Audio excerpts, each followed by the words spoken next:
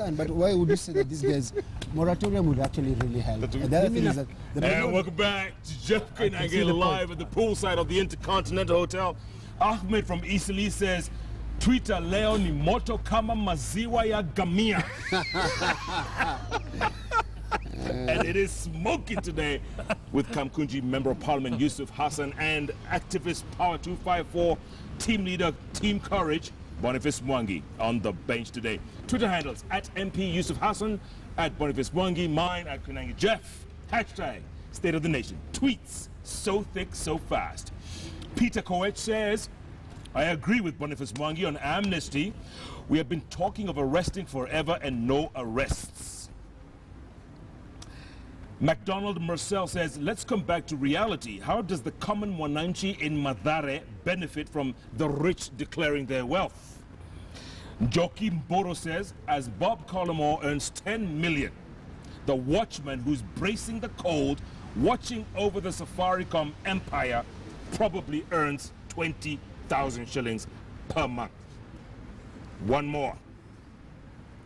David Leo says, let Boniface Mwangi not fool anyone. I dare him to disclose how much his organization receives from foreigners. What foreigners? so, David, uh, let me do free publicity for Power 254. Go to www.power254.org. There's a website. Everything is there. You find your answer. That's it. Yeah, go to our website. It's power254.org. We have a festival on Sunday in the Nairobi streets. Come for a free festival, free concert. Is Giuliani on going to be there? Yeah, he'll be there. Declaring his wealth? Giuliani is a private citizen, actually. I'm a private citizen. He's a public official, and he's actually required by law to declare his wealth. Bob Collymore was a private citizen. But because he's part of a presidential task force on corruption. Let, me- Safaricom is partly owned uh, by, By the government. By the By the government, state. Right. But he's not obligated by the state to actually declare his wealth. Let's talk about this thing. Why are we not asking the president to make his wealth public and the Does, deputy does it president? bother you what he's worth? What will it do What, for you? what bothers me is that if you're going to lead the war against corruption, you need to be seen to be clean. But he But- said on but, uh, BBC one time he did declare his wealth I think he did No, an no, no. interview on But BBC. Jeff, uh, He files returns. He's a Jubilee MP, so give me as equal time as him. no, but I'm, I'm No, saying so the president. cuts is now off- labeling me. no, no, but he's a Jubilee MP. It's true. So the reason why. And what are you? Are you an- a CORD activist? No, I'm not a CORD activist. I'll never vote for Raila Odinga or Uhuru Kenyatta. That's given. Who are you So going to vote for? Someone else is So going you have vie. a political position. No, you have an I- no, ideological as a position. citizen, like I everybody. do. I'm a socialist. So why would I'm you pigeon, pigeonhole me in order to reject my no, there is perspective an, and there, my view? there is an, there is an I Yeah. pigeonhole these guys Yes. because we came here with one agenda saying. your agenda? No. Okay, our agenda. We actually agreed. Me and him. We have finished that. We- no, we declare our wealth. Yes. And then we compel everyone, including the president, to declare his wealth. But now, he's, since we sat on this chair, he's going like this, like this, like this. Because I'm even saying, Raila Odinga, how much is he worth? Tell us, Wetangula, Kalonzo Musyoka. You think they're going to declare their wealth, Boniface? if they don't, You're dreaming. No, let if me, they s- don't, let me, Go on, Jeff, do not vote for the, them. the, the question is not just the declaration of wealth. The question is how have you earned that, That because, wealth. because the moment Did you you earn it honestly? Y- Yes, that's Who's going to declare? Listen, I mean, how many people will do it, Jeff, Mheshimiwa? listen, the moment you declare, we query your wealth. We say, okay, molasses ilitoka wapi, NYS, NYS yet ilitoka wapi, Weston Hotel ilitoka wapi. Start asking these questions. Where you go to have a 100 million house, we know your salary, how did you get this money? Yeah. If you took a mortgage, how much are you paying interest? Let me tell you, the moment you, you put it on paper and you sign it, if you lie, you're guilty. And Mheshimiwa, it comes to my point at the beginning of this show, and it was like, you know, who cares?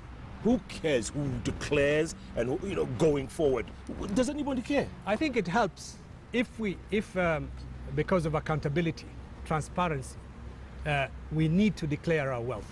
But the question is that uh, the question is, members of uh, public public office holders belong to families. Uh, they have uh, wives, they have children, they have other uh, factors that um, need to be protected in terms of their privacy. It's it's just not right just because you're a public officer that we would. Uh, um we would uh, throw you naked into the public. I think there is an element, there should be an element, and I, I, I don't, I, I don't subscribe to that as a person. I'm willing uh, to be accountable and to be transparent uh, to the extent possible. But a lot of the public officers would reject that because of their privacy. It's about privacy. If your if your money is mm. legally acquired mm. and it's honest, hardworking, mm. like you or, like Bob Collymore, he worked for his money, he earned his money in the right way. What are you afraid of? Because public service is about being a public leader and a public Okay, servant. okay. Let, let me give you a, a different example because Collymore is a is an ana- anomaly, if you will. yes. He's not Kenyan. He's almost Muzungu, if you will. He's an expat. He's my friend, but I can say this. What if it was James Mwangi saying that he's worth he gets paid 10 million shillings a month? That would be fine. No, no, but um, There'll be an uproar. uproar. Why? He's a, he's a, he's working for a private company. Which, well, I mean, are they going to do that? Joshua Oigara said he was going to declare. let me ask you. You guys don't have a problem when someone is going around this country giving 17 million shillings a week.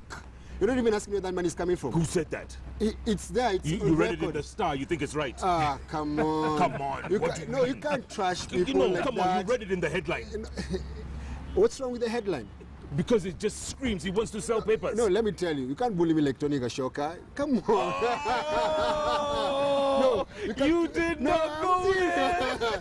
I used to bully people. It's a fact. I can actually say Weston Hotel.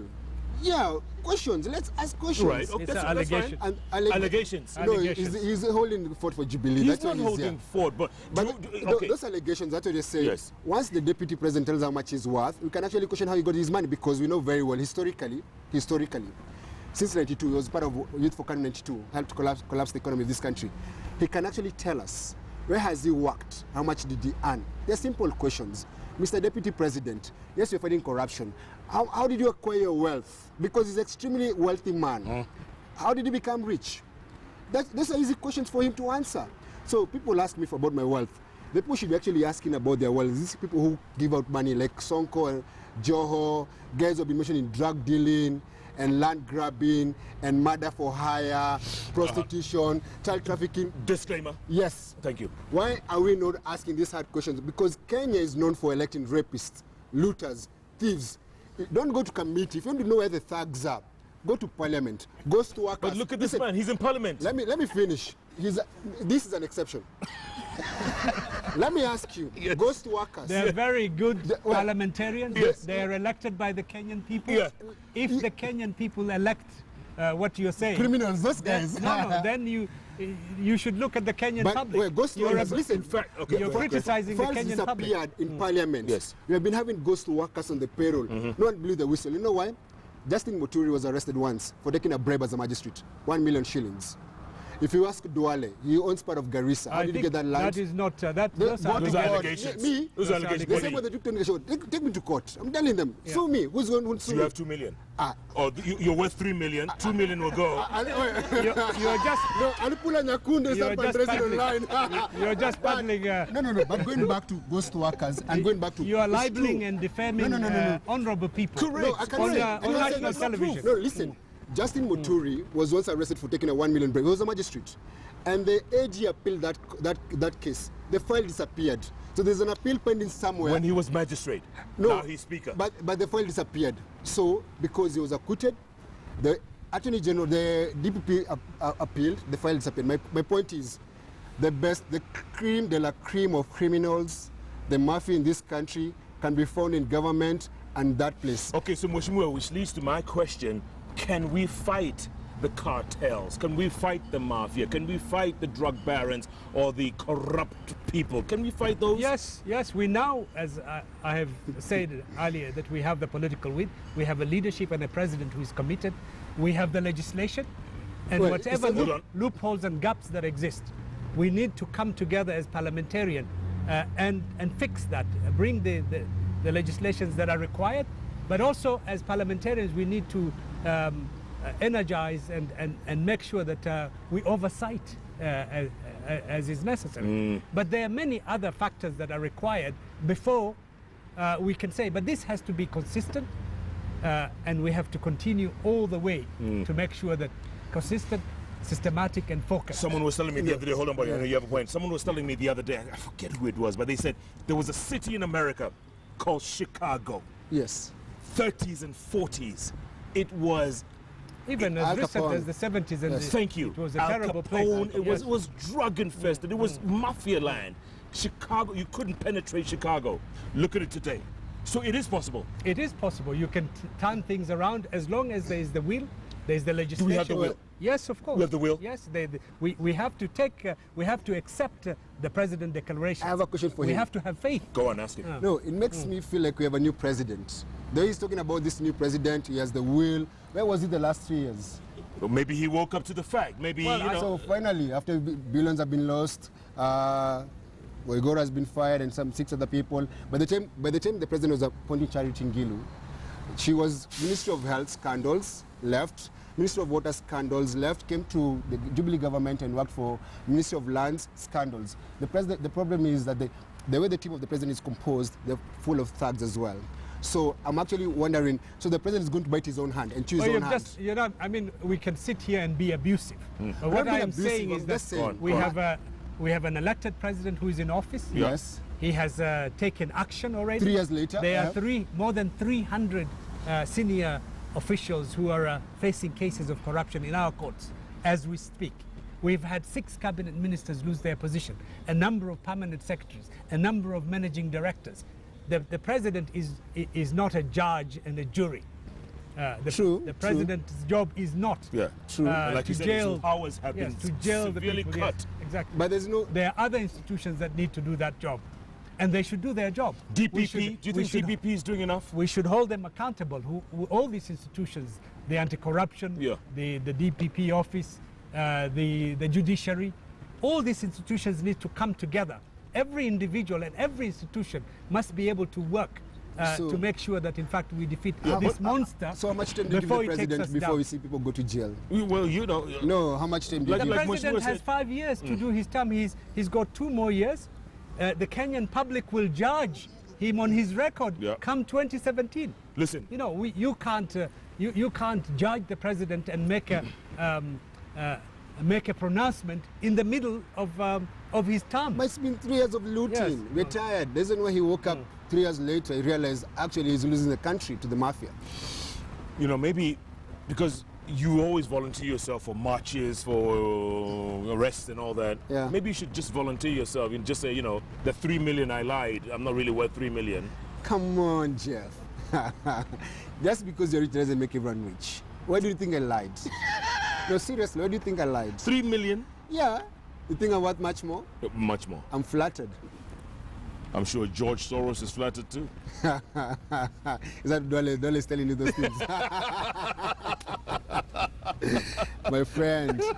No, but seriously, Yeah. I think for this country to go forward, I think the president needs to sacrifice some people and they need to be jailed. Uh, And we were saying that because we need to see a public jailing. Kibaki fired people. They never went to jail. And I'm so sure this will be the same story next year. That's why I'm asking, how much grace period do you give the president before you go back to the streets? Three months? Six months? Before you see heads roll? Do you know if he fought corruption, you- even the opposition would be in jail as well? Because they're both thieves there. Everybody. Everyone will be in jail, but there's one in jail. Oh, the other thing is, if we can't fight hate speech, how are we going to fight corruption? The other day, your friend Moses Kuria, What, did you just say my friend? yes, he was arrested. Uh, he was denied bail. When he ended up Karen Hospital. Yeah. Yeah, he never went to jail. Kenyatta. To- He wasn't even Kenyatta, Karen Hospital. So now, the moment we start arresting them, there's a time Pattni was in Kenyatta instead of jail. We need to actually remove these safeguards for the rich.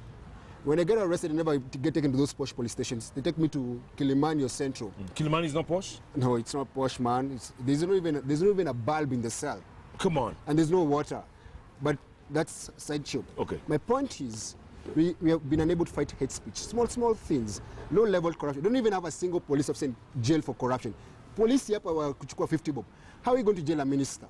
Knowing very well that they have powers, they intimidate witnesses. The biggest problem in this country is that the thugs have more power than the good people. But at the end of the day, Mheshimiwa, there are some good people out there, right? There are some good people. Absolutely, I think they are. Um, you, you can't, uh, you know what uh, uh, we are dealing with here is speculation, um, rumors, and gossip. Our courts uh, have recently um, uh, been given all the independence they require. We have done reforms in our judiciary. They should do their work. Uh, it is not uh, right to expect a president to be the judge, the jury, and the jailer. I- It's we're- just not We're possible. not, we're, we're not Uh, expecting him to we do have that. already we have already heard his message very clearly. Mm. We, I, we have already seen what has happened. There is no government in Africa that has had six ministers out. There is no government in Africa. Buhari is working, Yeah. man. Buhari has only been there for 90 days. Thank you. Yeah, but he's him time. actually Yeah.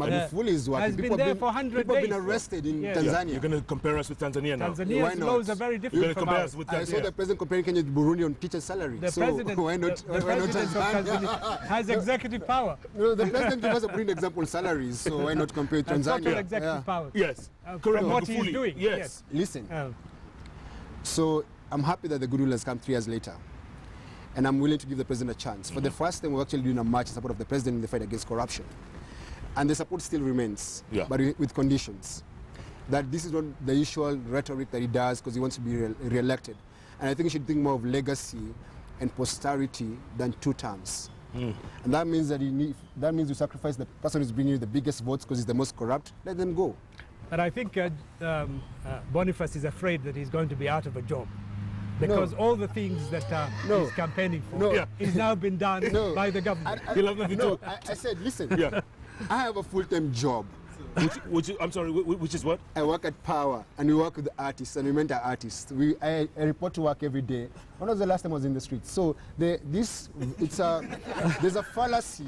There's a fallacy that I live to protest. That's not true. I have a job. Yeah, but you love protesting, don't you?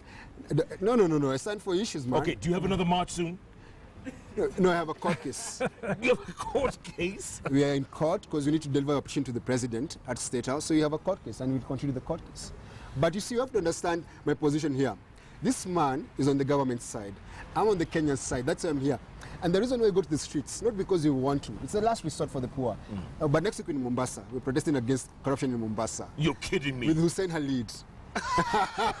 Are you serious? I just want to uh, tell Boniface, if he doesn't know my history, Yes. He was, a, he was an I have fought he has for been there. democracy, for human rights, In- for transparency and accountability for my Ve- entire life. Very true. And uh, there are times when we were out in the streets Very true. when this country would send you to not to jail but to your death. and that's why you left the country. And I have been yes, That's why you left and the I have sacrificed uh, many uh, uh, years of my life so that we can enjoy the democracy that we have. so that these kids can enjoy it, right? Exactly. True. He I- doesn't need I to know. march to State House. No. There is no need. No. Yeah. All, all those rights are guaranteed. All those rights. so you have a right to march because they're guaranteed, right? Now you can go to Harambee House. But I can Harambee. go- yes, OP. you No, can come to no, Parliament. No, what's wrong with State Welcome, House? Karibu. It's a public road. Sinners Road is a public road. Listen, Ash You're going to cause inconvenience, No, no, no, no. traffic jams, No, no, no, no. economic loss. Well, no, no. uh, who says? Yeah. Who says a protest must be convenient to anyone? No one says that. Yeah, but, when you are protesting, was Yeah. it convenient for anyone? but Boniface, let's, we let's could face be, it. about we would not, we didn't have the right to protest as we have now. Mm. no, people protested actually. Utawala wa Moi People protested.